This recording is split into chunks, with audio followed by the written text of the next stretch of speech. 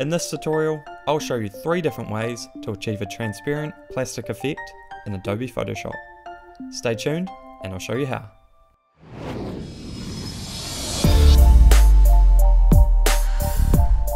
Studio Shephrd. So with Adobe Photoshop open, I have this image here of some blueberries in a plastic container. Now I want to put on a plastic lid, so I've found an image of a lid that roughly fits the container. Now I've aligned this previously through dropping the opacity and just aligning it to the shape of my container. So once you've done that, select your lid layer and go up to select subject and then under layers we're going to create a clipping mask. So it's just going to cut out and remove that background.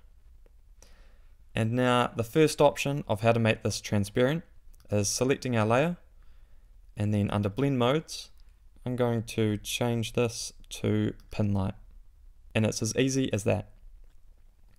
Option 2, instead of using the blend mode, I'm going to double click my layer and then under blending options, I'm going to go down here to this first gradient bar and holding Alt and clicking on this half, I'm just going to split this point here and drag it into the center and then click and drag the second point in a little bit until it looks something like this.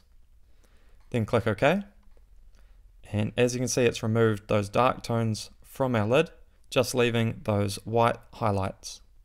Now the third option with our layer selected again, this time we're going to go across and under the erase tool, you'll select the background eraser tool.